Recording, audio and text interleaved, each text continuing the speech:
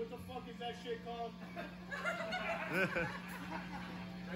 Hey, yeah, that shit's called. Hey, no, the fuck it's not. Okay, all right. This next song's called Red Skies, Tyranny, and Destruction. Yeah. Hey, it's off our fucking upcoming fucking uh, full length coming out August This fucking fucking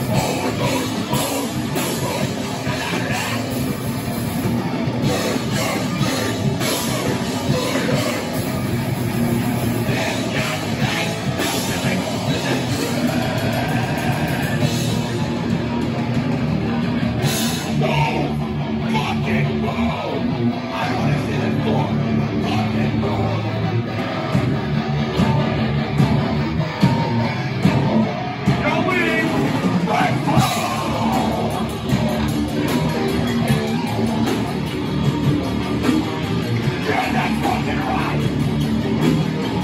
19th.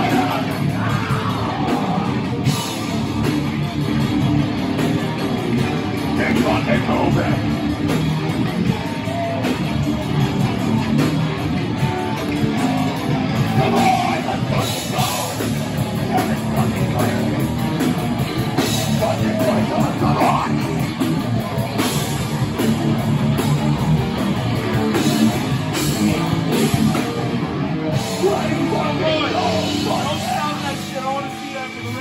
Keep that You shit prove the that fuck up! Now it's starting out of you pussy.